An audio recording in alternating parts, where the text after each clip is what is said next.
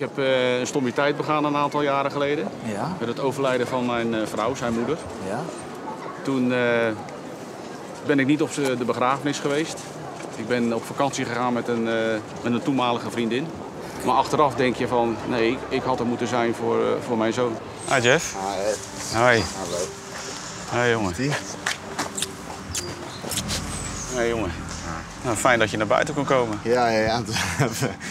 Nou, je weet misschien al waarvoor ik hier sta. ja. En dat doet me heel veel verdriet wat ik je toen de tijd heb aangedaan dat ik er niet was op het moment dat je me echt nou hard nodig had. En daar wil ik me mijn spijt eh, voor betuigen.